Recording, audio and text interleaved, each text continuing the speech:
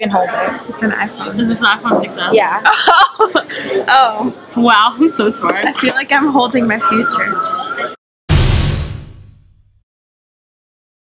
This is the Oh my god. That is large. It doesn't look any different. It's so complicated.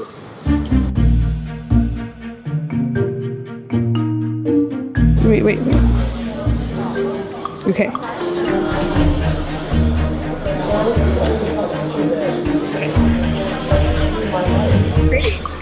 Ah! It moves. Yeah, it does. Okay, I love it already. Yeah. Wait, take a pic.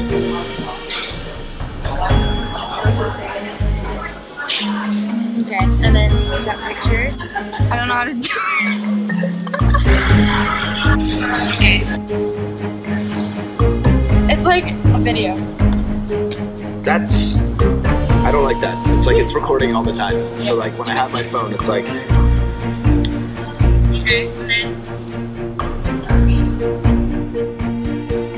So you can always set the thingy for the lock screen and then it moves and stuff. But then, um, so, So legit. oh, the 3D touch.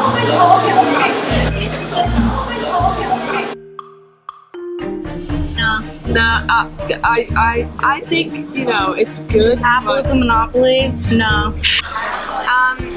I feel like it's a lot bigger in size, which I personally don't like with iPhones. Um, you're upgrading from like maybe the iPhone 4 or iPhone 5, then yeah, it'd be worth to get. But if you're at a, you're already at a 6 and you like just bought it because it just came out, then I feel like it's worth it to go ahead and spend the extra money. But that's just because I'm cheap. Put tape over the camera, then yes, get it.